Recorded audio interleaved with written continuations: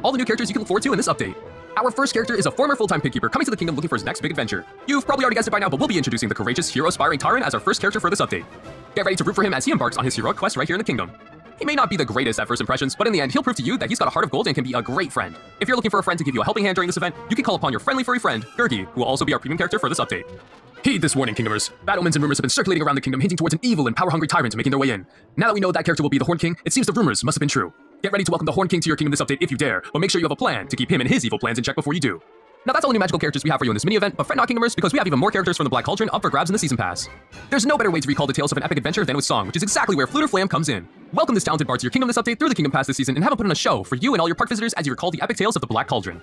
And last but not least, what would an epic tale be without a little bit of royalty? Work your way through the Season Pass to welcome Princess Eilonwy to your kingdom. If you just so happen to upgrade your Season Pass to the Kingdom Pass, you can also unlock Eilonwy's blue dress costume.